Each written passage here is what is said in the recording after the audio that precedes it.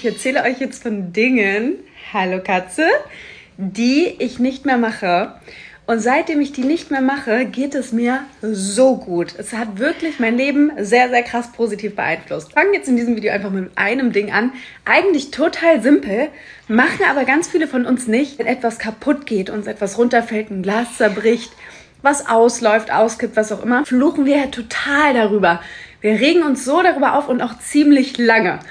Und bei mir ist es so, und ich kriege immer wieder das Feedback von Freunden oder meinem Umfeld, dass die sagen, hä, wieso bist du denn so entspannt? Ist doch jetzt totale Scheiße.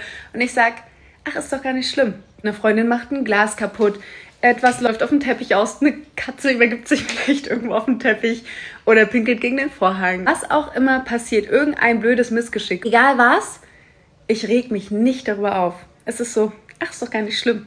Ich habe mir diesen Satz an, angewöhnt. Mein Freund macht sich manchmal so ein bisschen darüber lustig, nimmt mich immer so ein bisschen hops und sagt, ach, ist doch gar nicht schlimm, ach, ist doch gar nicht schlimm. Wenn meine Freundin würde sagen, ach, ist doch gar nicht schlimm. Das ist so ein bisschen wie so, so Tagetalk-mäßig, als würde man auch mit einem Kind sprechen.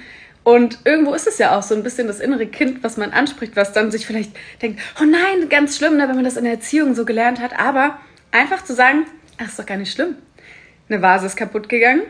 Tja, hab mich kurz erschrocken, aber hey, ist ja gar nicht schlimm. Und ich sage das wirklich laut. Es beruhigt mich selber so sehr und es ist jetzt wirklich, es ist nichts mehr schlimm. Es geht was kaputt, es ist nicht schlimm. Irgendwas geht schief, es ist nicht schlimm. Und du kannst es im Endeffekt sowieso nicht ändern. Ne? Das ist so einfach eigentlich. Es ist so oder so deine Energie, die du verschwendest, wenn du dich so reinsteigerst und so aufregst.